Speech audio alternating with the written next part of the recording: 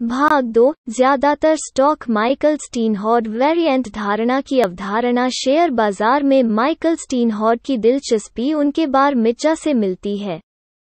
जब उनके पिता ने दिया था उसे वर्तमान के रूप में स्टॉक के 200 शेयर वो स्थानीय ब्रोकरेज कार्यालय में एक के रूप में हैंगआउट को याद करते हैं किशोर बूढ़ों के साथ टिकर टेप देख रहा था।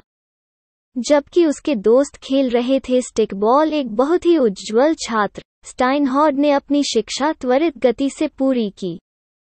1960 में पेंसिल्वेनिया विश्वविद्यालय के वॉटन स्कूल से की उम्र में स्नातक की उपाधि प्राप्त की 19 स्टाइनहॉर्ड सीधे वॉल स्ट्रीट के लिए रवाना हुए, जहाँ उन्होंने एक शोध सहायक के रूप में अपनी पहली नौकरी की।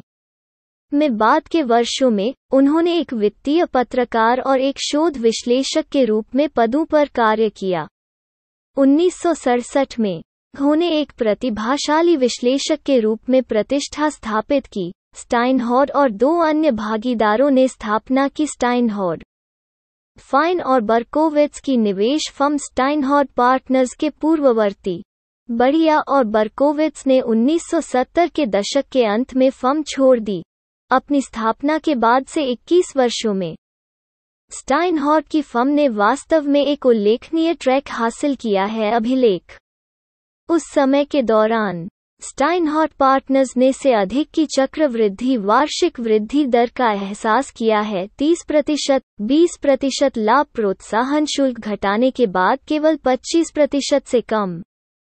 तुलना में 500 इंडेक्स ने केवल 8.9 प्रतिशत की चक्र वृद्धि वार्षिक वृद्धि दर दर्ज की। लाभांश शामिल, इसी अवधि के दौरान। उन्नीस सौ सड़सठ में इसकी शुरुआत में फर्म के साथ 1000 डॉलर का निवेश किया गया था स्प्रिंग 1988 तक। बढ़कर तिरानवे हज़ार डॉलर से अधिक हो गया होगा। प्रोफेसर, इट इंसेंटिव फ़ीस घटाने के बाद। रखना उस परिप्रेक्ष्य में। शेयरों की एक टोकरी में निवेश किए गए वही एक हज़ार डॉलर केवल बड़े होंगे छह हज़ार चार सौ डॉलर। लाभ कहानी का केवल एक हिस्सा है। स्टाइनहॉट का ट्रैक रिकॉर्ड भी सराहनीय है संगतता। स्टाइनहॉट पार्टनर्स ने केवल दो हारे हुए वर्ष देखे हैं। दोनों ही मामलों में शुद्ध घाटा था। लाभ प्रोत्साहन शुल्क समायोजन से पहले दो प्रतिशत से कम। असंख्य दृष्टिकोणों का उपयोग करके स्टीनहॉट का बेहतर प्रदर्शन हासिल किया गया है। वो दोनों एक लंबी अवधि के निवेशक और एक अल्पकालिक व्यापारी। वो शेयरों को खरीदने में उतना ही सहज है जितना कि उन्हें खरीदना, वो फर्म की पूंजी के बड़े हिस्से को अन्य निवेश वाहनों में स्थानांतरित कर देगा, जैसे कि ट्रेजरी सिक्योरिटीज। अगर उन्हें लगता है कि यह सबसे अच्छा निवेश विकल्प है निश्चित रूप से स्टाइनहॉट पार्टनर्स का ट्रैक रिकॉर्ड कोई एकल प्रदर्शन नहीं है। उसके अलावा कॉफाउंडिंग पार्टनर्स पिछले कुछ वर्षों में, फर्म ने कई व्यापारियों और विश्लेषकों को नियुक्त किया है।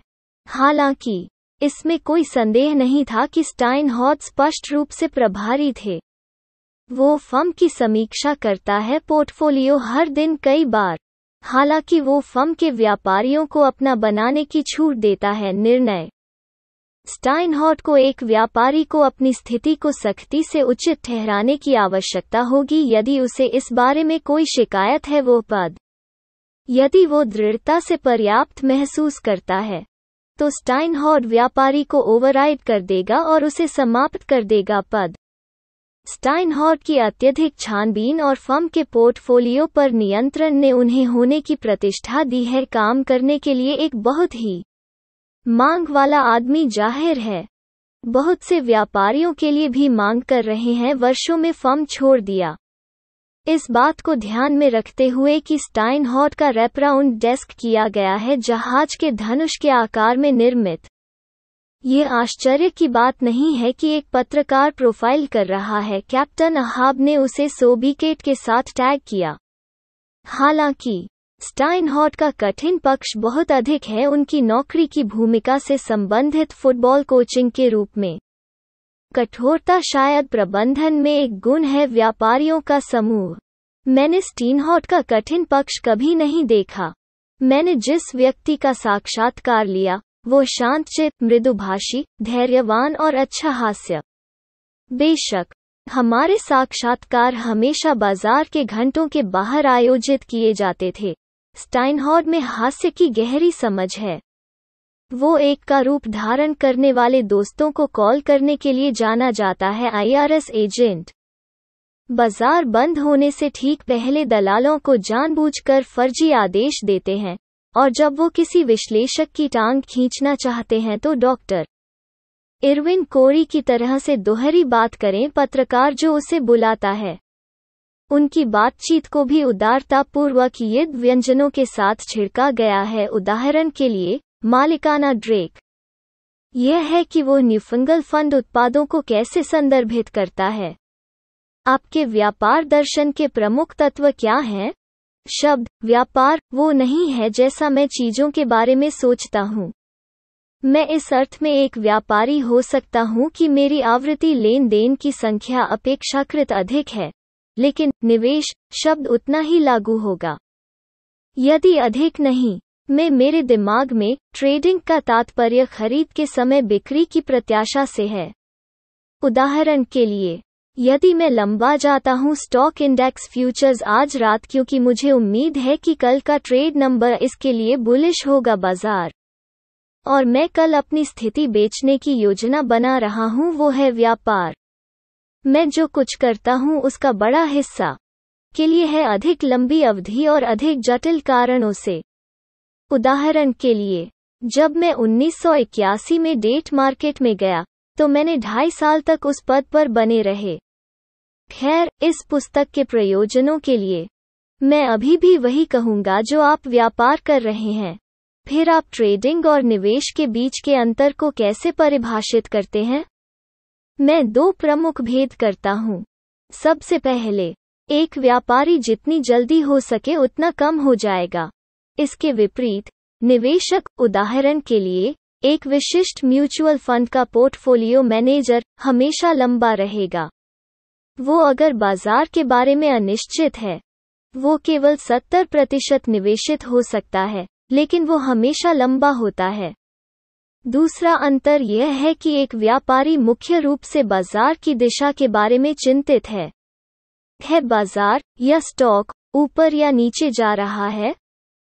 निवेशक सबसे अच्छा चुनने के बारे में अधिक चिंतित है शेयरों में निवेश करने के लिए। व्यापारियों और के बीच मेरे अंतर में कोई मूल्य निर्णय शामिल नहीं है निवेशकों के लिए। यह केवल इस पुस्तक के लिए एक निश्चित विषयगत फोकस बनाए रखने की बात है। किसी भी मामले में, पर दोनों मायने रखता है। मैं निश्चित रूप से आपको एक व्यापारी के रूप में योग्य बनाऊँगा। मेरे मूल प्रश्न पर वापस जाने के लिए हाउ क्या आप व्यापार के अपने दर्शन को परिभाषित करेंगे? मेरा खास अंदाज ज़्यादातर लोगों से थोड़ा अलग है। कॉन्सेप्ट नंबर एक वेरिएंट है धारणा? मैं उन धारणाओं को विकसित करने की कोशिश करता हूँ जो मुझे लगता है कि सामान्य बाज़ार के दृष्टिकोण से भिन्न है। मैं उन भिन्न धारणाओं को तब तक निभाऊँगा जब तक मुझे नहीं लगता कि वे अब ऐसी नहीं हैं। क्या आप मुझे वर्तमान बाज़ार में भिन्न धारणा का उदाहरण दे सकते हैं? हम डेढ़ साल से कम जिनेटेक रहे हैं। महीनों और महीनों की अवधि थी जब हमने उस स्थिति में बहुत सारा पैसा खो दिया। लेकिन मैं छोटा रहा क्योंकि मेरे पास है उनकी दवा टीपीए के भविष्य के बारे में भिन्न धारणा टीपीए को अंतःशिरा में इंजेक्ट किया जा सकता है रक्त के थक्कों को घोलें। यह हमारी धारणा है कि एक या दो साल में टीपीए एक छोटी दवा होगी जो अधिक प्रभावी दवाओं द्वारा प्रतिस्थापित किया जा सकता है, जिनकी लागत भी काफ़ी कम है। संपूर्ण का ज़ोर कंपनी इसी एक दवा पर आधारित है।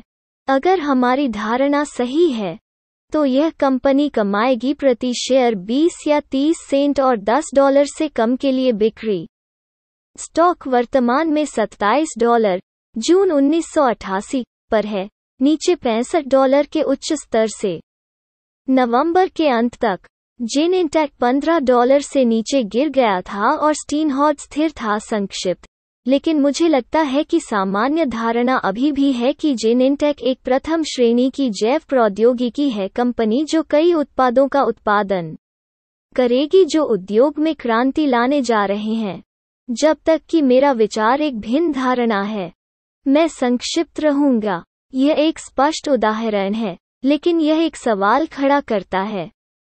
मान लीजिए कि आप अपनी वजह से स्टॉक कम करते हैं, भिन्न धारणा, और स्थिति आपके विरुद्ध जाती है। यदि मूल तत्व नहीं बदलते हैं तो जितना अधिक यह आपके खिलाफ जाएगा, उतना ही आकर्षक छोटा पक्ष दिखाई देगा। फिर भी एक पैसे से प्रबंधन के दृष्टिकोण से किसी बिंदु पर स्थिति को कवर करना होगा। ऐसा प्रतीत होता है जैसे यहाँ संघर्ष में दो बुनियादी व्यापारिक सिद्धांत हो सकते हैं। व्यापार की दुनिया में कुछ ऐसे शिब्बोलेथ मौजूद हैं, जो सटीक हो भी सकते हैं और नहीं भी। लेकिन मैंने उनका अनुसरण नहीं किया है। उदाहरण के लिए, एक सामान्य विचार है कि आपको स्टॉक को छोटा नहीं करना चाहिए जब तक कि यह पहले से ही चरम पर न हो और नीचे शुरू हो जाए कि जब तक स्टॉक पहले से ही न हो जाए, तब तक आपको कम नहीं जाना चाहिए उन समस्याओं को। प्रतिबिंबित करना जो सभी के लिए स्पष्ट हैं। कुछ मायनों में, मैं इसे समझ सकता हूँ। वो हो सकता है शॉर्ट स्टॉक के लिए एक सतही रूप से सुरक्षित तरीका है और आप उस दृष्टिकोण का उपयोग करके अधिक आराम से सोच सकते हैं। हालाँकि, मैंने इसे इस तरह कभी नहीं किया है। मेरा नज़रिया हमेशा से यही रहा है कि पैसे कमाने के लिए बाजारों में, आपको खतरे के रास्ते में आने के लिए तैयार रहना होगा। मैंने हमेशा छोटे शेयरों की ओर रुख किया है जो पसंदीदा थे और संस्थागत उत्साह के एक बड़े सौदे से समर्थित थे। सामान्यतया, मैं बहुत जल्दी छोटा हो गया है और इसलिए, आमतौर पर मेरे शॉट में नुकसान के साथ शुरू हुआ है, पदों अगर मैं किसी स्टॉक को छोटा करता हूँ और यह बहुत बढ़ जाता है तो यह मेरे जोखिम को थोड़ा कम कर सकता है। लेकिन जब तक मेरा भिन्न धारणा अपरिवर्तित है, मैं संक्षिप्त रहूँगा। अगर मैं गलत हूँ तो मैं गलत हूँ। क्या आप यह कह रहे हैं कि जब तक आप बुनियादी बातों को सोचते हैं, जैसा कि आप उन्हें समझते हैं हैं अपरिवर्तित, आप मुश्किल से लटकेंगे चाहे स्थिति आपके खिलाफ कितनी भी हो? सही। बेशक, अगर यह ट्रिपल भयानक है तो मैं दबाव को कम करने के लिए स्थिति के आसपास व्यापार कर सकता हूँ थोड़ा सा। मैं कहूँगा, ठीक है, यह भयानक लग रहा है। मुझे खरीदारों के अलावा कुछ नहीं दिख रहा है। मैं खरीदारों से क्यों नहीं जुड़ता? और देखे कि क्या मैं कुछ पैसे कमा सकता हूँ, बोलने के मामले में। मैं खुद को द्विभाजित करता हूँ। मेरे पास मौलिक दृष्टिकोण, जिसे मैं अपने दिल में मानता हूँ। लेकिन मैं इसे अल्पकालिक उत्साह से अलग करने की कोशिश करता हूँ और तीव्रता मैं बाज़ार में देख सकता हूँ। तो भले ही मैं उस प्रकार की स्थिति में छोटा हूँ, मैं हो सकता हूँ समय समय पर खरीदार बने। दो, क्या आप वास्तव में उन अवधियों के दौरान लंबे समय तक नेट पर जा सकते हैं? यह आपकी स्थिति में उतार चढ़ाव होता है पूरी तरह से छोटा और सपाट के बीच। यह दूर से फ्लैट तक भी नहीं पहुंचेगा क्योंकि उस प्रकार की खरीदारी बहुत ही अल्पकालिक पर आधारित है। धारणाएँ मैं 20, 30 या 40 प्रतिशत पोजीशन ले सकता हूँ और इसके साथ व्यापार कर सकता हूँ। यदि आप किसी विशेष स्टॉक में बहुत नकारात्मक और कम हैं लेकिन ज़रूरी नहीं कि आप मंदी के हों उद्योग क्या आप कभी कभी उस समूह में एक और स्टॉक खरीदकर खुद को हेज कर सकते हैं आपकी छोटी स्थिति? मैंने कई बार ऐसा करने की कोशिश की है, लेकिन आमतौर पर इसे असफल पाया है। यह क्या करने के लिए जाता है देना मुझे एक के बजाय दो समस्याएँ। आमतौर पर, दूसरी तरफ़ दूसरे स्टॉक के बारे में आपका ज्ञान अपेक्षाकृत कंजूसी होगी क्योंकि आप इसे हेज के रूप में उपयोग करने के लिए बस पकड़ रहे हैं। अपने अगर समस्या इतनी बड़ी है कि आपको इसका बचाव करने की आवश्यकता है। क्यों न सीधे समस्या का समाधान किया जाए? पूरी तरह से अलग स्थिति लेना। मान लीजिए कि आप एक पेपर स्टॉक कम हैं और पेपर स्टॉक हैं गर्जन। इसलिए आप इसके खिलाफ एक और पेपर स्टॉक खरीदते हैं। हो सकता है कि आपका शॉर्ट स्टॉक और बढ़ जाए, शायद अन्य स्टॉक और ऊपर जाएगा। कौन जाने? यदि आपने कोई गलती की है तो उस गलती से निपटें। इसे मिश्रित मत करो। भिन्न धारणा अवधारणा के अलावा, आपके व्यापार के कुछ अन्य तत्व क्या है दर्शन?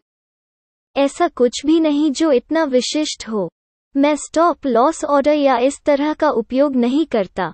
मैं खरीदने के बारे में किसी नियम का उपयोग नहीं करता कमज़ोरी या ताकत पर। मैं ब्रेकआउट या ब्रेकडाउन को नहीं देखता। मैं चार्ट का उपयोग नहीं करता। आप चार्ट का बिल्कुल भी उपयोग नहीं करते हैं। चार्ट मुझे खाली छोड़ देते हैं। वो जैकी मेसन जैसा भाषण पैटर्न अपनाते हैं। मैं स्टॉक को देखता हूँ। यह एक शानदार चार्ट है।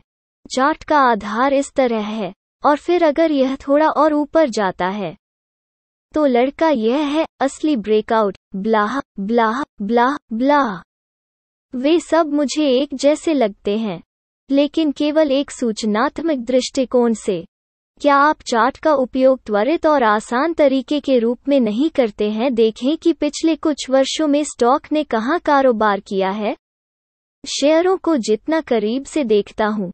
मुझे मूल्य स्तर अप ट्रेंड रेंज और सभी का कुछ बोध होता है वह। मान ले कि आप जानते हैं कि एक स्टॉक 10 डॉलर से 40 डॉलर तक चला गया है। इससे आपको कोई फ़र्क नहीं पड़ेगा कि यह कैसा है 10 डॉलर से 40 डॉलर तक चला गया। इससे मुझे कोई फ़र्क नहीं पड़ता। क्या आपके पास कोई ट्रेडिंग नियम है जिसे आप परिभाषित कर सकते हैं? मुझे एक व्यापारिक सौदे का उदाहरण दें। एक सामान्य उदाहरण हो सकता है। इससे पहले कि मैं किसी पद पर आऊँ। मुझे ठीक ठीक पता है कि मुझे कहाँ मिल रहा है बाहर। यह ज़रूरी नहीं कि जोखिम नियंत्रण नियम हो, यह हो सकता है नहीं। स्टॉप या उद्देश्यों के बारे में मेरे पास कोई नियम नहीं है। मैं बस उन शर्तों में नहीं सोचता। इस बिंदु पर स्पीकर फ़ोन पर कॉल आती है। फ़ोन करने वाला स्टीन हॉट को कुछ देर से ब्रेक दे रहा है। तंबाकू उद्योग के खिलाफ मुकदमे में निर्णय के संबंध में समाचार। फैसला वापस आ गया है लिगेट समूह को छोड़कर, जिसे चार सौ शून्य शून्य शून्य डॉलर का जुर्माना और कोई दंडात्मक हरजाना नहीं देना पड़ा था, को छोड़ दिया गया था। स्टीनहॉट जवाब देते हैं। तो यह मूल रूप से प्रतिवादियों के पक्ष में थोड़ा सा निर्णय था। मैंने लगभग एक महीने पहले तंबाकू का स्टॉक कम कर दिया था। मेरा तर्क यह था कि यदि वादी जीत गए तो मामले में स्टॉक बहुत नीचे चला जाएगा। लेकिन अगर वादी हार गए तो स्टॉक बहुत ज़्यादा नहीं बढ़ेगा। चूँकि तंबाकू कंपनियों ने कभी एक केस नहीं हारा था और दूसरे को जीतना वास्तव में अच्छा नहीं होगा समाचार। यह एक भिन्न धारणा का एक उदाहरण है। यह देखना दिलचस्प होगा कि मैं कितना खोता हूँ, क्योंकि मेरा मूल सिद्धांत यह था कि यह ज़्यादा नहीं होगा। यहाँ यह है, पढ़ने की कहानी का शीर्षक। से स्क्रीन। लिगेट ग्रुप को धूम्रपान करने वालों की मौत में योगदान के लिए उत्तरदायी पाया गया। तुम्हें पता है क्या? मैं वैसे भी नहीं हारेंगे। इस तरह का एक वाक्य किसी को भी डरा देगा। हमारी चर्चा पर वापस जाते हुए। मान लें कि आपके मौलिक होने के कारण आपके पास स्टॉक कम है, विश्लेषण और स्टॉक आपके खिलाफ जा रहा है। जब आपका विश्लेषण गलत होगा तो आपको कैसे पता चलेगा क्योंकि आपने किसी अज्ञात महत्वपूर्ण तत्व की अनदेखी की है? वो स्थिति काफ़ी बार होती है। आप एक स्टॉक खरीदते या बेचते हैं और यह उस तरह से कार्य नहीं करता है जैसा आपको लगता है कि इसे करना चाहिए। मैं अपने पोर्टफोलियो को दिन में छह बार देखता हूँ। पोर्टफोलियो में कई स्टॉक हैं जो मैं हूँ के लिए सीधे तौर पर जिम्मेदार नहीं है। उदाहरण के लिए, कोई और छोटा है टाइम इंक। वे कम है क्योंकि पत्रिका व्यवसाय घटिया है, और यह या वह लेकिन स्टॉक वास्तव में मज़बूत काम कर रहा है और 10 ऊपर है प्रतिशत जहाँ से हमने इसे छोटा किया। मैं टाइम लाइफ के लिए जिम्मेदार व्यक्ति के पास जाऊँगा स्थिति और कई महत्वपूर्ण प्रश्न पूछें। हमें कुछ ऐसा कब मिलेगा जो होने वाला है? दुनिया को आश्चर्य? कब कुछ ऐसा होने वाला है जो इस कंपनी की भावना को कम करेगा? अधिग्रहण के लिए परिपक्व है। एक मायने में, मैं पोर्टफोलियो का नकारात्मक मॉनिटर हूँ। अगर किसी पद को लेकर कोई समस्या है तो मैं जाऊँगा इसके माध्यम से बहुत नियमित रूप से। यह मुझे यहाँ एक बहुत कठिन व्यक्ति बनाता है, क्योंकि मैं केवल लोगों से बात करता हूँ जब चीज़ें घटिया हों या जब उनके स्टॉक उस तरह से काम नहीं कर रहे हों जैसे उन्हें करना चाहिए।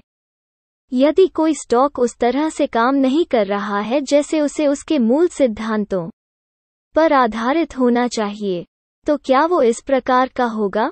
मार्केट एक्शन जो बदल देगा आपकी सोच? मैं यह मानने की कोशिश करता हूँ कि व्यापार के दूसरी तरफ़ का आदमी कम से कम उतना ही जानता है जितना मैं जानता हूँ।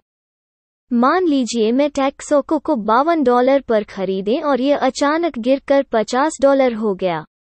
जिसने टैक्सोको को बावन डॉलर में बेचा, उसकी धारणा थी जो नाटकीय रूप से मेरे से अलग था।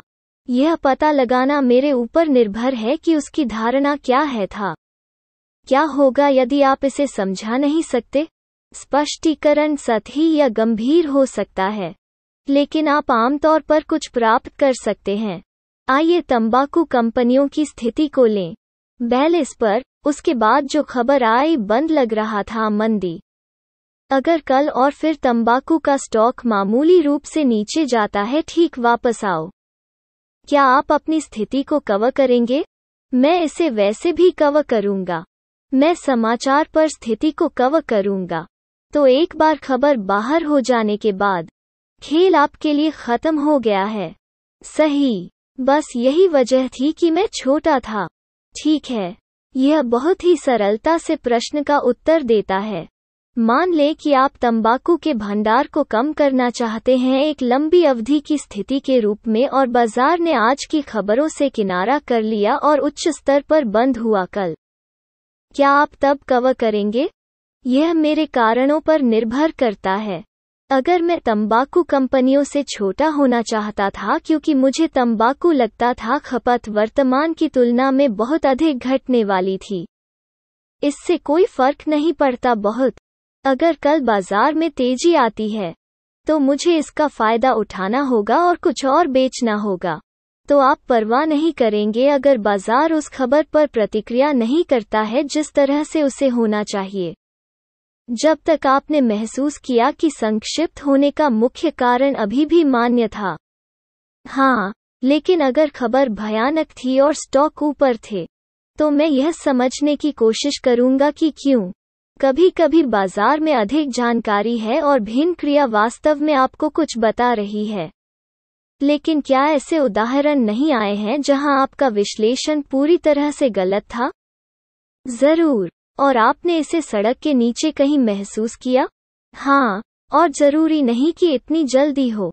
इस बिंदु पर, स्टाइनहॉट को एक फ़ोन कॉल आता है जिसमें बातचीत का उनका पक्ष गैर से भरा होता है, अनुक्रमिक और जानबूझकर बड़बड़ाहट। फिर वो मुझे प्रैक्टिकल खेलने की अपनी सामयिक आदत के बारे में बताता है कॉल करने वालों पर। चुटकुले। उदाहरण के लिए, मुझे एक ब्रोकर का फ़ोन आता है जिससे मैंने लंबे समय से बात नहीं की है। मैं कुछ झूमता हूँ चारों ओर कागजात और फिर कहते हैं जेड सी यू के तीस हज़ार शेयर खरीदें। एक और वाक्य को गुनगुनाए। क्या तुमने किया? समझे मैंने क्या कहा? नहीं, मैं हंसता हूँ। यह बिल्कुल सही है। लेकिन यह वैध लग रहा था ना? वैसे भी, वो मुझे वापस बुलाता है। और मेरे पास मेरा है सचिव ने कहा कि मैं बाथरूम में हूँ। वो फिर से कॉल करता है। उन्मत क्योंकि यह पाँच मिनट पहले है करीब, और मैं अभी भी अनुपलब्ध हूँ। फिर तीन बज के अट्ठावन मिनट, एक पर उसे वापस बुलाओ और कहो, क्या तुमने ऐसा नहीं किया? अभी तक आदेश समस्या क्या है? बस धिक्कार है। बेशक, वो कहते हैं, मैंने पकड़ नहीं लिया स्टॉक का नाम। तो मैं उससे कहता हूँ, वो एक और वाक्य बुद बुदाता है, और उसके कहने से पहले रुक जाता है और कुछ के फंड को अक्सर हेज फंड के रूप में लेबल किया जाता है क्योंकि यह सामान्य से बहुत अलग तरीके से ट्रेड करता है म्यूचुअल फंड। क्या आप हेज फंड के अर्थ के बारे में विस्तार से बता सकते हैं? ई डब्ल्यू जोन्स ग्रुप को पहला हेज फंड होने का श्रेय दिया गया है। मूल रूप से, शब्द एक सटीक अवधारणा को संदर्भित करता है, जो अनिवार्य रूप से निम्नलिखित कहता है। हम पैसे की दुनिया में हैं, प्रबंधन के पास शेयर बाज़ार में प्रवृत्तियों की भविष्यवाणी करने की क्षमता नहीं है। जो एक के कार्य हैं, चरों की मेजबानी जो काफ़ी हद तक व्यक्तियों की प्रत्याशित क्षमता से परे हैं। क्या पर हम धन प्रबंधकों के रूप में सावधानीपूर्वक विश्लेषण के माध्यम से कर सकते हैं? सटीक निर्णय लेना है जिसके बारे में कंपनियाँ अच्छा कर रही हैं, बनाम जो नहीं कर रही हैं। इसलिए यदि कोई स्टॉक में लॉन्ग पोजीशन को संतुलित करता है तो शेयरों में शॉर्ट पोजीशन के साथ अपेक्षाकृत मज़बूत माना जाता था, जिसके खराब प्रदर्शन की उम्मीद थी। बाज़ार का जोखिम पूरी तरह समाप्त हो जाएगा। उदाहरण के लिए, यदि आप फोर्ड से प्यार करते हैं और जनरल मोटर्स से नफरत करते हैं, और हर डॉलर लंबी फोर्ड के लिए आप जनरल मोटर्स के एक डॉलर से कम थे। आप अपने पर खो सकते हैं शॉर्ट्स लेकिन अगर आपका निर्णय अच्छा था तो आप आगे निकल आएँगे। तो ए, की मूल अवधारणा हेज फंड ने शेयरों को चुनने की क्षमता पर पूरी तरह ज़ोर दिया। क्या अब भी कोई इस तरह व्यापार करता है? नहीं, आज, हेज फंड शब्द कुछ हद तक मिथ्या नाम है। शब्द अब एक सीमित को संदर्भित करता है साझेदारी जिसमें सामान्य साझेदार को आमतौर पर प्रदर्शन के आधार पर भुगतान किया जाता है। जैसा कि विरोध किया जाता है, अधिक पारंपरिक धन प्रबंधक जिन्हें प्रबंधित परिसंपत्तियों पर भुगतान किया जाता है। आमतौर पर, के प्रबंधक, हेज फंड में पारंपरिक मनी मैनेजर की तुलना में बहुत अधिक लचीलापन होता है, और यह वास्तव में है मुख्य तत्व। उस लचीलेपन में शॉर्ट स्टॉक के साथ साथ स्टॉक खरीदने, उपयोग करने में सक्षम होना शामिल हो सकता है। विकल्प, वायदा और इतने पर। हेज फंड सामान्य शब्दों में यही होता है, लेकिन इसमें भिन्नताएँ होती हैं। विषय एक बहुत व्यापक सातत्य को कवर करता है। हेज फंड की मूल अवधारणा का क्या हुआ?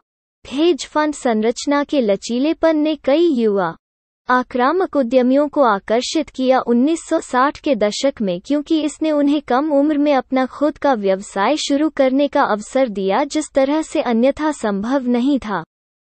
वे अद्भुत कहानियों के साथ महान भंडार के समय थे। वहाँ बहुत सारे स्टॉक थे जो शानदार वृद्धि दिखा रहे थे, जो लोग हेज फंड व्यवसाय में आए थे। वे इस विचार के सैद्धांतिक व्यवसायी नहीं थे, हेजिंग। लेकिन अपने स्वयं के मालिक होने और लचीलेपन के विचार में अधिक रुचि रखते थे, लंबे समय तक बहुत अधिक स्टॉक होना। हालाँकि उनके पास संक्षिप्त होने का लचीलापन भी था, लेकिन उन्होंने इसका उपयोग नहीं किया कोई गंभीर तरीका। अंग्रेज़ी भाषा में हेज शब्द का बहुत विशिष्ट अर्थ है। अधिकांश में ये हेज फंड, आप गंभीरता से पूछ सकते हैं। हेज कहाँ है? तो वे केवल नाम के हेज फंड थे। सही। वे खुद को हेज फंड भी नहीं कहेंगे। वे नाम से शर्मिंदा थे। शब्द का छोटा होने का अर्थ था। और लघु पक्ष का व्यापार करने के लिए एक अमेरिकी विरोधी अंगूठी थी। ये ऐसा था जैसे आप आपदा के लिए निहित थे। इसलिए उन्होंने इस शब्द का इस्तेमाल करना शुरू कर दिया। वो ठट्ठा करने का लहजा अपनाता है। पोम्पोसिटी, निजी भागीदारी। विडंबना यह है कि आज 1950 के दशक की अपेक्षाकृत सहज धर्मनिरपेक्ष प्रवृत्तियों के विघटन के साथ और 1960 के दशक में एक सच्चे हेज फंड की अवधारणा अपने शुरुआती दिनों की तुलना में अधिक समझ में आ सकती है। हेज फंड अवधारणा के कोई भी व्यवसायी अपने शुद्ध रूप में क्यों नहीं है? क्योंकि यह एक बहुत ही सीमित तरीका है। एक डॉलर लंबा और एक डॉलर छोटा होने का आधार कुछ संबंधित इकाई को अप्रभावी रूप से बहुत सारे डॉलर का उपयोग करने की आवश्यकता होती है। फोर्ड और जनरल कितने अलग हैं मोटर्स? होने जा रहे हैं। वे दोनों एक ही व्यापक आर्थिक कारकों से प्रभावित हैं। लगाना है तो लंबे समय के लिए कुछ डॉलर और छोटे के लिए कुछ डॉलर। आप दस का एहसास करने के लिए भाग्यशाली हो सकते हैं एक वर्ष की अवधि में प्रतिशत अंतर, अर्थात। यह मानकर कि आप सही हैं। एक ऐसा समूह है जिससे हम पश्चिमी तट पर जुड़े हुए हैं जो विशेष रूप से शॉर्टिंग करने में माहिर हैं। स्टॉक। विचार का उल्लेख किया गया है कि शायद वे अपने बाज़ार जोखिम को बेअसर कर दें। स्टॉक इंडेक्स में डॉलर के बराबर संख्या में लंबे समय तक होने के कारण वे अलग अलग स्टॉक में कम हैं। क्योंकि वे पार्टी में जो लाते हैं वो है शॉर्ट्स चुनने की विशेष क्षमता। यह सबसे नजदीकी चीज़ है, यह अवधारणा मैंने हाल ही में सुनी है। लेकिन वे ऐसा नहीं करते हैं। आपका अपना फंड, हेज फंड अवधारणा में कैसे फिट बैठता है? यह इस अर्थ में फिट बैठता है कि शॉर्टिंग का सक्रिय रूप से उपयोग किया जाता है। हमारे पास हमेशा कुछ शॉर्ट्स होते हैं। मैं भी अच्छा खर्च करता हूँ नेट मार्केट एक्सपोजर और जोखिम के बारे में सोचने और इसके लिए योजना बनाने और समायोजन करने के बारे में सोचने में मेरा समय लगा। 21 वर्षों में मैं यह कर रहा हूँ। यहाँ हमारे समग्र प्रदर्शन का औसत लगभग 40 रहा है प्रतिशत। आपका मतलब 40 प्रतिशत नेट लंबा है? हाँ इसके विपरीत। मुझे संदेह होगा कि विशिष्ट म्यूचुअल फंडों के सबसे रूढ़ीवादी लोगों ने एक पिछले 20 वर्षों के दौरान 80 प्रतिशत से कम का औसत एक्सपोजर औसतन। आप लगभग 40 प्रतिशत शुद्ध लंबे रहे हैं। इसमें कौन सी सीमा शामिल है? मुझे याद है कि एक समय में 15 या 20 प्रतिशत शुद्ध कमी थी। और दूसरी बार, सौ से अधिक होने पर प्रतिशत शुद्ध लंबा। तो आपके पास नेट शॉर्ट होने के साथ साथ नेट लॉन्ग होने का लचीलापन है?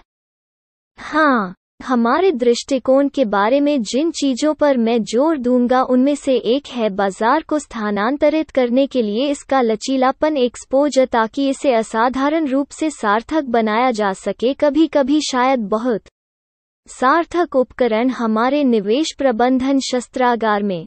आप सामान्य बाज़ार दिशा के लिए अपना दृष्टिकोण कैसे निर्धारित करते हैं? क्योंकि यह स्पष्ट रूप से एक है आपके दृष्टिकोण का बहुत महत्वपूर्ण तत्व। यह वास्तव में परिभाषा से परे है, सिवाय यह कहने के कि कई चर हैं, कुछ के साथ कभी कभी दूसरों की तुलना में अधिक महत्वपूर्ण है। और वे हर समय बदलते रहते हैं।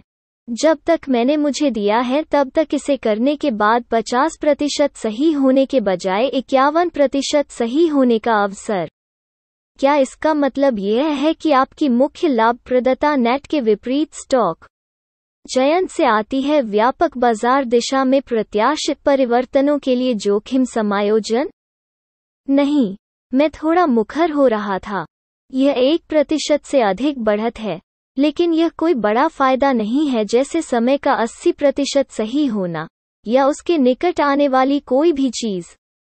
अपेक्षाकृत बोलते हुए, स्टॉक बनाम सही बाज़ार दिशा का पूर्वाग्रह कितना महत्वपूर्ण है आपके समग्र बेहतर प्रदर्शन में योगदान कारक के रूप में चयन? जैसा कि मैं पिछले 21 वर्षों को देखता हूँ, सफल गतिविधि का कोई निर्धारित पैटर्न नहीं है। कुछ में वर्षों से, हमने कुछ चुनिंदा शेयरों के बल पर विशेष रूप से अच्छा प्रदर्शन किया है। अन्य वर्षों में, हमने किया असाधारण रूप से अच्छी तरह से क्योंकि हम बाज़ार के दाईं ओर थे। उदाहरण के लिए, एक नौ सात तीन, एक नौ सात चार में, जब बाज़ार में भारी गिरावट आई तो हम काफ़ी हद तक ऊपर थे। मुख्यतः क्योंकि हम शुद्ध थे कम। ऐसे और भी समय थे जब हमारे पैसे का बड़ा हिस्सा बॉन्ड में बनाया जाता था। मुझे लगता है कि वहाँ एक है इस तथ्य में संदेश की कोई वास्तविक पैटर्न नहीं है। कोई भी व्यक्ति जो सोचता है कि वो इसमें सफलता प्राप्त कर सकता है, रैकेट खुद को धोखा दे रहा है, क्योंकि वो बहुत जल्दी बदल जाता है। जैसे ही कोई सूत्र किसी के लिए सही होता है, समय की लंबाई। अपनी सफलता, अपनी अपरिहार्य विफलता का भार वहन करती है। एक नौ सात तीन, एक नौ सात चार में स्टॉक की कम कीमतों के लिए आपको पर्याप्त रूप से किस बात का भरोसा था? मंदी की आशंका। किस पर आधारित? मैंने महसूस किया कि उस अवधि की उच्च मुद्रास्फीति दर उच्च ब्याज दरों की ओर ले जाएगी, जो बदले में अर्थव्यवस्था को धीमा कर देगा। क्या आप 1982 के निचले स्तर से पहले की अवधि में शेयर बाज़ार पर नकारात्मक थे? कुआँ उतनी दृढ़ता से नहीं, लेकिन 1981 और 1982 में, एक ने एक होने से बहुत बड़ी रकम कमाया ट्रेजरी नोट्स में लीवरेज की स्थिति। हालाँकि कोई भी ब्याज के उदय के अंत की भविष्यवाणी नहीं कर सका दरों में समय समय पर। यह स्पष्ट था कि जब तक ब्याज दरों में कमी नहीं आती अन्य क्षेत्रों को अपेक्षाकृत अनाकर्षक। जब आप लंबी अवधि के ट्रेजरी प्रतिभूतियों में 14 प्रतिशत प्राप्त कर सकते हैं तो होने के लिए प्रतिस्पर्धी शेयरों को इतना कम बेचना पड़ा जितना वे बेच रहे थे कि यह लायक भी नहीं था। इस बात पर ध्यान केंद्रित करना कि कौन से स्टॉक को खरीदना है। हालाँकि आप शॉर्ट साइड पर ध्यान केंद्रित कर सकते हैं। क्या खास था वह? अवधि कुछ और होने के लिए ब्याज दरों में एक मोड़ की अनिवार्यता थी सार्थक। यह बस समय की बात थी कि बारी। अधिकांश अन्य अवधियों के विपरीत, यह अवधि एक स्पष्ट यूनिडायरेक्शनल संदेश था। यूएस ट्रेजरी निश्चित आय प्रतिभूतियाँ अब तक थीं समय का सर्वोत्कृष्ट मूल्य। विरोधाभासी मानसिकता वाले किसी भी व्यक्ति को 1980 के दशक की शुरुआत में ब्याज दरों को देखना पड़ा एक संभावित महान अवसर प्रस्तुत करना। आप जानते थे कि जैसे ही व्यापार संकट में पड़ने लगेगा, फेद को आराम करना होगा। इसके अलावा, हमने पहले ही में एक महत्वपूर्ण टॉपिंग देखी थी, मुद्रास्फीति की दर। तो पहली के कुछ टुकड़े पहले से ही मौजूद थे? हाँ और वो उतना ही है जितना आप उम्मीद कर सकते हैं, क्योंकि जब वे सब जगह पर होते हैं, तब तक बहुत देर हो चुकी होती है। आप एक विरोधाभासी मानसिकता का उल्लेख करते हैं, लेकिन उस प्रकार की सोच को करने की कोशिश करना उचित हो सकता है, बहुत कम दरों पर शीर्ष चुने। बिल्कुल, लोग सोचते हैं कि विरोधाभासी होने का अर्थ है जीत। आखिर कंट्रोवर्सी क्या है, लेकिन कोई है जो भीड़ के खिलाफ जाता है। यह लगभग एक क्लिच है कि भीड़ हमेशा गलत होती है तो भीड़ के खिलाफ खड़े होने वाले व्यक्ति को हमेशा सही होना चाहिए। खैर, जीवन उस तरह से काम नहीं करता। वहाँ बहुत सारे विरोधाभासी थे जिन्होंने पहली बार ब्याज दरें आठ प्रतिशत तक जाने पर बॉन्ड खरीदे थे समय, और नौ प्रतिशत, और दस प्रतिशत बॉन्ड खरीदने वाले लोगों के पैसे का बहुत बड़ा नुकसान हुआ था उस समय सर्वकालिक उच्च पैदावार क्या थी? सैद्धांतिक विरोधाभासी होने और इससे निपटने में बहुत महत्वपूर्ण अंतर है व्यवहारिक शर्तें। एक विरोधी के रूप में जीतने के लिए आपको सही समय की आवश्यकता होती है और आपको एक पर रखना होता है उपयुक्त आकार में स्थिति। यदि आप इसे बहुत छोटा करते हैं तो यह अर्थपूर्ण नहीं है। यदि आप इसे बहुत बड़ा करते हैं तो आप, यदि आपका समय थोड़ा हटकर है तो मिटाया जा सकता है। इस प्रक्रिया के लिए साहस, प्रतिबद्धता और एक की आवश्यकता होती है अपने स्वयं के मनोविज्ञान की समझ। मुझे लगता है कि आप शायद उस व्यापार में काफ़ी समय से आपके खिलाफ बाज़ार में चल रहे थे। ठीक है, यह किया। यह एक बहुत ही दर्दनाक अवधि थी, क्योंकि जहाँ तक अधिकांश निवेशकों का संबंध था, मैं एक इक्विटी निवेशक था। मुझे बॉन्ड के बारे में क्या पता था? हेनरी कॉफमैन का खंडन करने वाला मैं कौन था? दुनिया को कौन बता रहा था कि ब्याज दरें चाँद पर जा रही हैं? इतना ही नहीं मैं कर रहा था कुछ ऐसा जो पहले से अलग था। जो हमेशा निवेशकों के एंटेना को उठाता है, विशेष रूप से संस्थागत मानसिकता वाले लोग, लेकिन मैं इसे बहुत बड़े आकार में कर रहा था। क्या आपने अपनी स्थिति पर 100 प्रतिशत से अधिक का लाभ उठाया था? हाँ एक समय मेरे पास पाँच साल की परिपक्वता अवधि में फर्म की पूंजी का तीन से चार गुना था। स्टॉक में, आप एक पुलिसकर्मी है जो आपको बताता है कि आप कितना अनुमान लगा सकते हैं। इसे मार्जिन आवश्यकताएँ कहा जाता है। लेकिन कोषागार में, आप परिपक्वता के आधार पर अपनी खरीदारी का अट्ठानवे प्रतिशत तक वित्तपोषित कर सकते हैं। इसलिए कोई वास्तविक बाधा नहीं है। जब आपने कोषागार खरीदना शुरू किया और बाज़ार के निचले हिस्से के बीच की अवधि कितनी लंबी थी, ब्याज दर शिखर। मैंने 981 के वसंत में खरीदना शुरू किया। और मुझे लगता है कि 30 सितंबर 1981 को कोषागारों का निचला स्तर गिर गया। उस पहली छमाही में आपके खिलाफ दरें कितनी बढ़ी, मुझे याद नहीं है, लेकिन दरों में काफ़ी वृद्धि हुई है।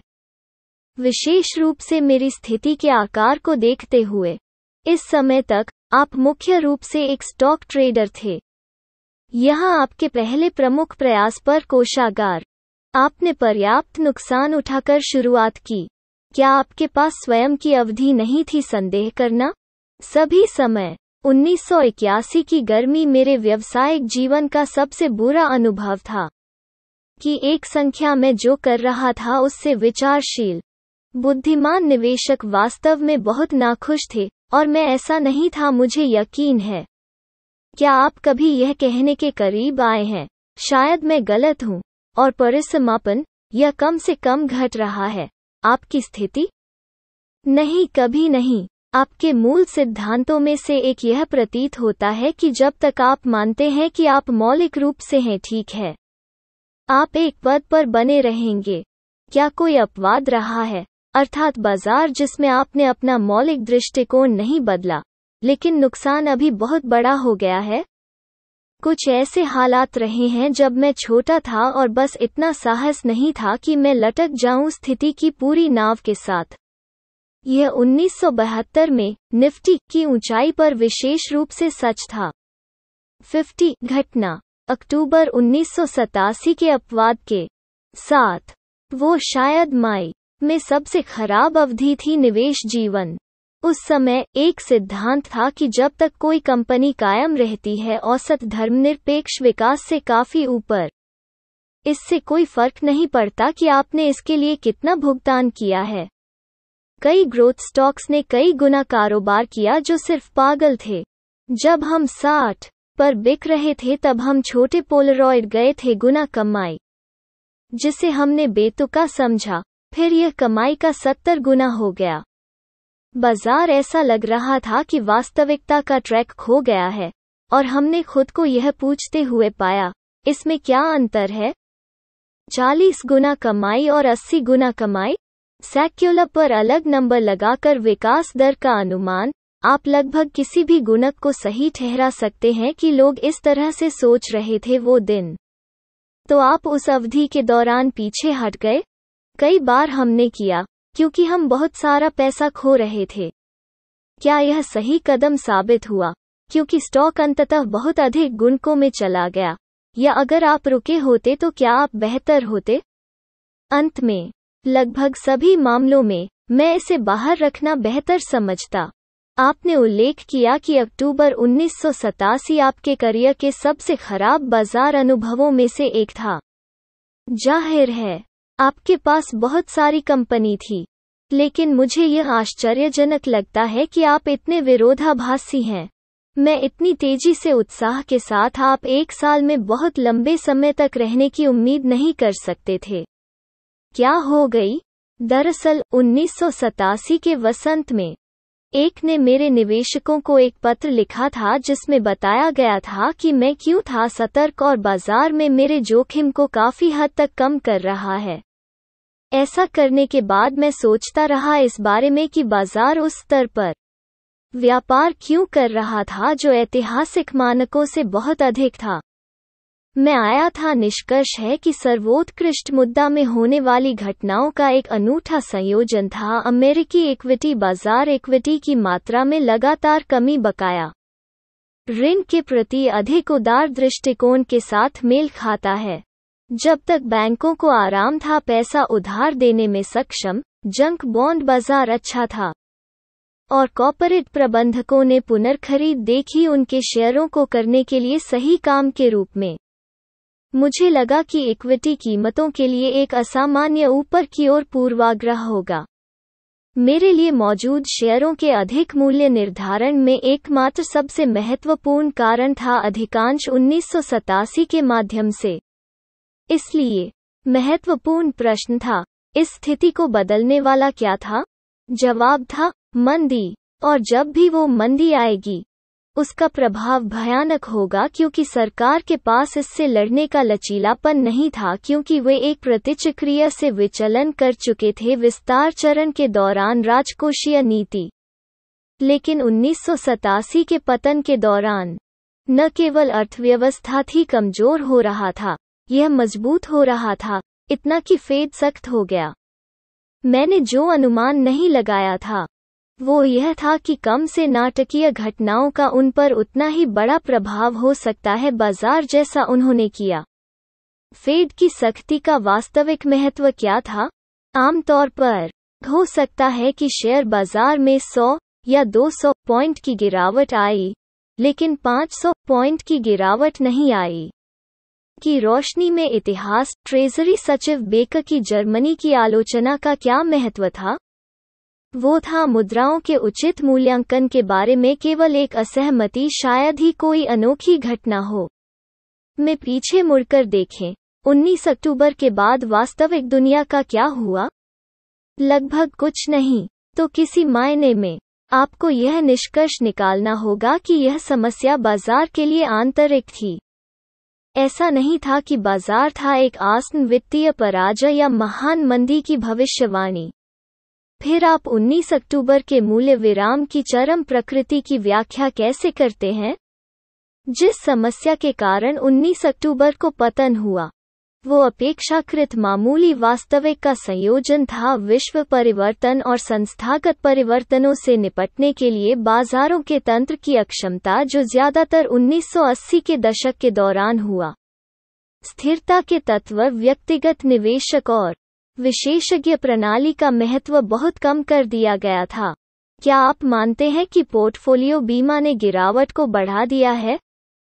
पोर्टफोलियो बीमा है स्टॉक पोर्टफोलियो में कीमतों के रूप में जोखिम जोखिम को कम करने के लिए स्टॉक इंडेक्स फ्यूचर्स की व्यवस्थित बिक्री पतन।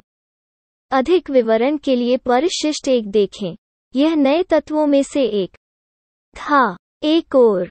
आपने स्थिरता के तत्वों में कमी की थी। दूसरी ओर, आपके पास 1980 के दशक की रचनाएँ थीं, पोर्टफोलियो बीमा, कार्यक्रम व्यापार और वैश्विक परिसंपत्ति आवंटन, जो एक यूनिडायरेक्शनल प्रभाव डालने की प्रवृत्ति रखता है। उसके द्वारा, मेरा मतलब है कि इन रणनीतियों में भाग लेने वाले एक ही समय में खरीदार और विक्रेता होते हैं। शेयर बाज़ार था इसे संभालने के लिए तैयार नहीं थे। स्थितिवार 19 अक्टूबर को आप कहाँ आ रहे थे? मैं बहुत लंबे समय तक उजागर हुआ 80 से 90 प्रतिशत, और मैंने दिन के दौरान अपना प्रदर्शन बढ़ाया। क्यों? क्या आप अभी भी तेज थे? मेरा बढ़ता हुआ एक्सपोजर इस मायने में पूरी तरह से विपरीत व्यापार था कि जब बाज़ार में उतार चढ़ाव होता है बहुत बड़ा कदम, ज़्यादातर समय। यह विचार करना सही है कि बहुत अधिक भावुकता है और उस कदम में उग्रवाद। यदि आप भावुकता से थोड़ी दूरी बनाए रख सकते हैं तो आप ऐसा करते हैं कुआ। तो उस दिन मेरी खरीदारी वही है जो मैंने किसी भी 300, 400 या 500 पॉइंट डाउन डे पर की होती। क्या आप अपनी लंबी स्थिति के साथ रहे? नहीं। मैंने इसे अगले दो महीनों में कम कर दिया। गिरावट की भयावहता और आत्मविश्वास में असाधारण परिवर्तन, जिसने मुझे भी प्रभावित किया।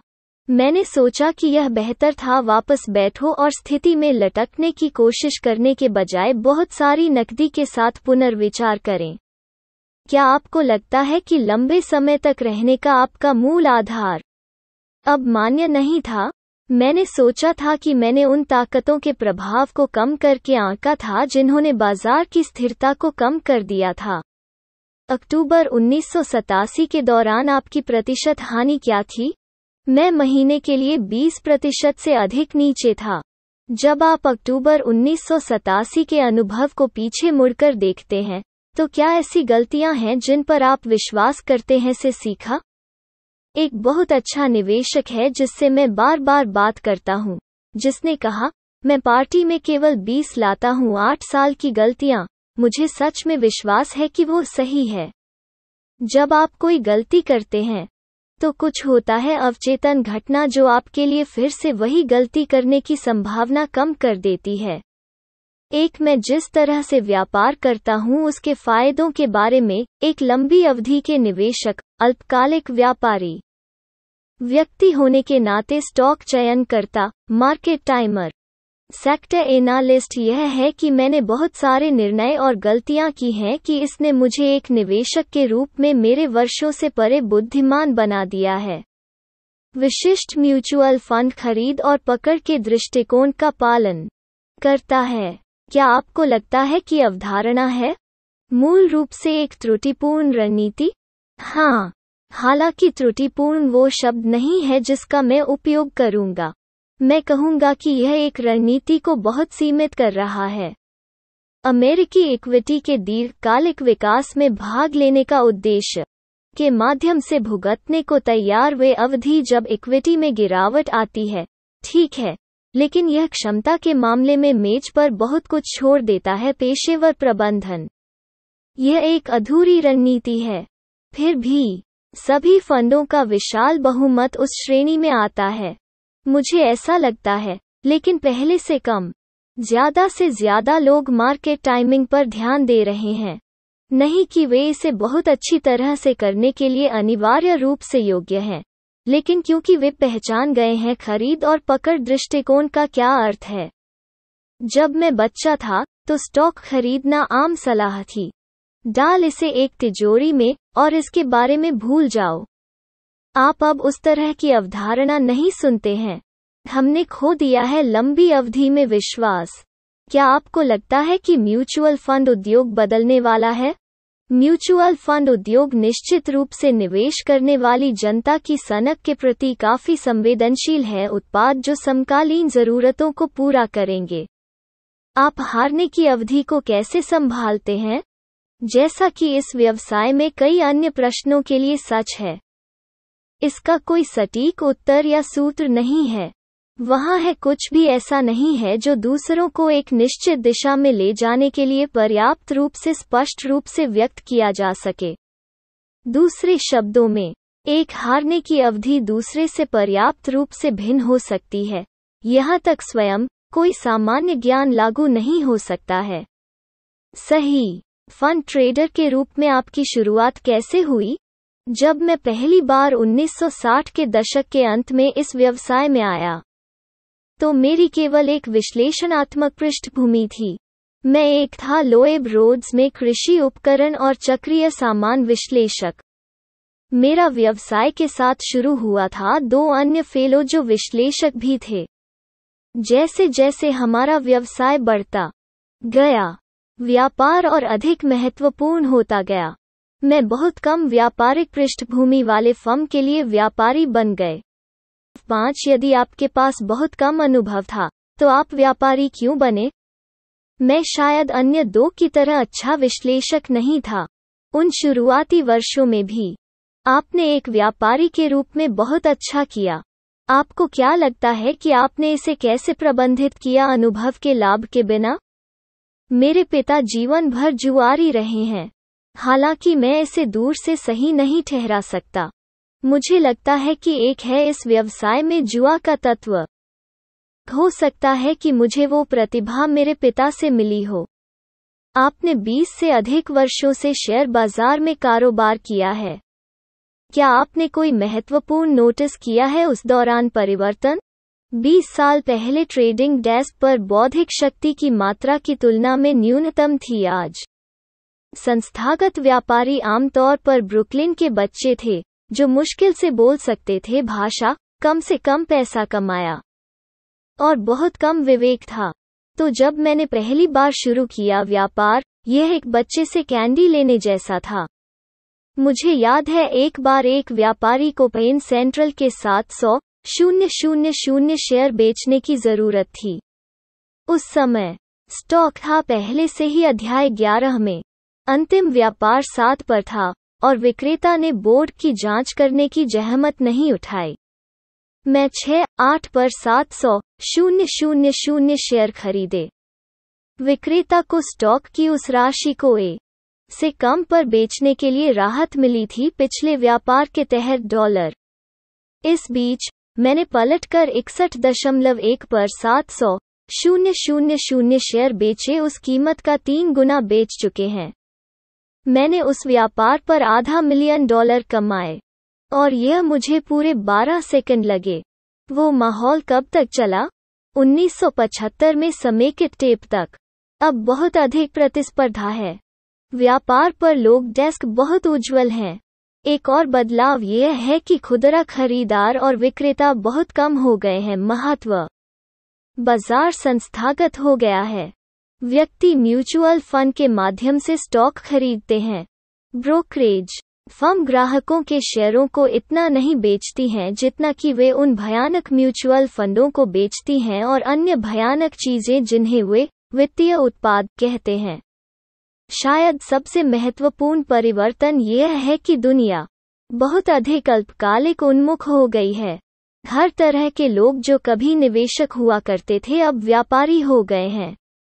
संस्थाएँ अब परिभाषित करती हैं खुद को ऐसे उद्यमों के रूप में, जिनका लक्ष्य रिटर्न की उच्चतम दर हासिल करना है। जब वे करते थे खुद को लंबी अवधि के निवेशक के रूप में परिभाषित करें।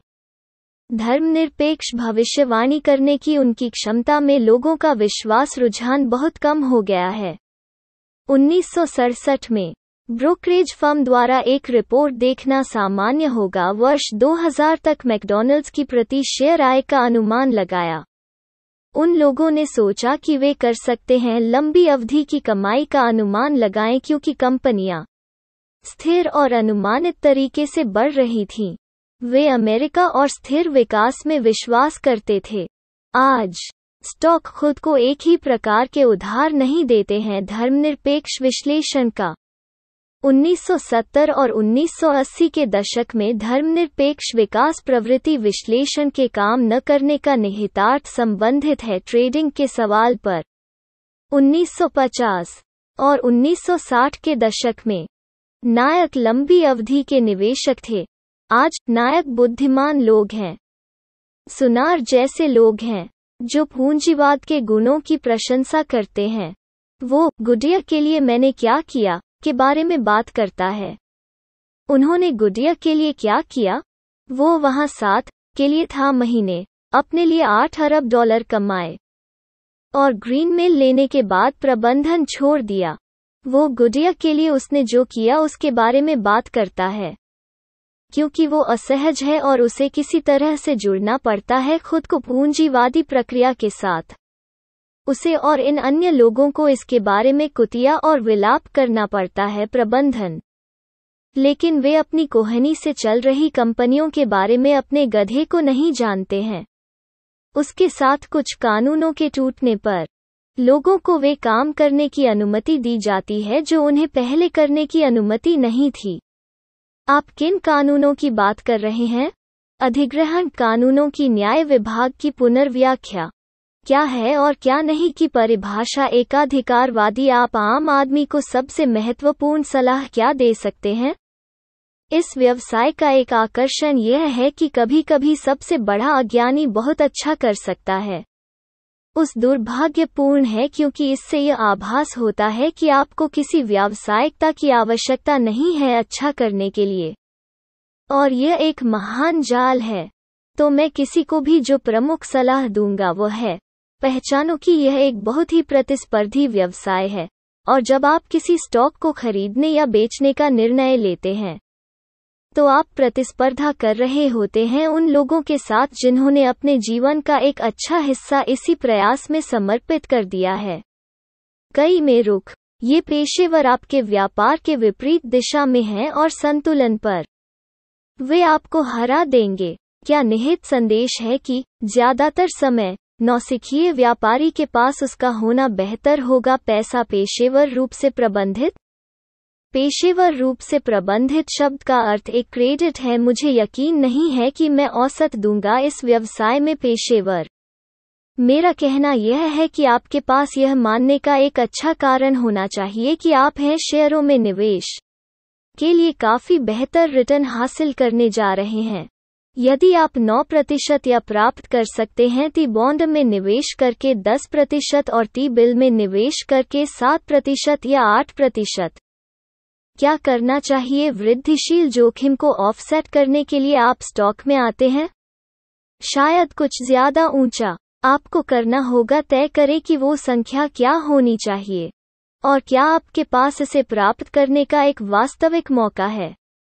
खेल की कठिनाई को कम मत समझो, ठीक है? और इस शिबोलेत को भूल जाइए कि स्टॉक आपको उच्च दर का रिटर्न देने जा रहे हैं क्योंकि वे अधिक जोखिम भरे हैं। वो सत्य नहीं है। वे अधिक जोखिम भरे हैं। इसलिए आपको आश्वस्त होना होगा कि आपको गेम खेलने के लिए उच्च दर का रिटर्न मिलने वाला है। यह मत समझो कि किसी म्यूचुअल फंड में निवेश करने पर आपको अधिक रिटर्न मिलने वाला है। हालाँकि यह सच नहीं है। ऐतिहासिक रूप से, शेयर बाज़ार ने ब्याज दर को महत्वपूर्ण रूप से नहीं हराया है। रिटर्न सच है। लेकिन इसमें बहुत सारे सांख्यिकीय मुंबो जम्बो शामिल हैं। औसत रिटर्न गणना निर्भर करती है प्रारंभिक तिथि पर भारी।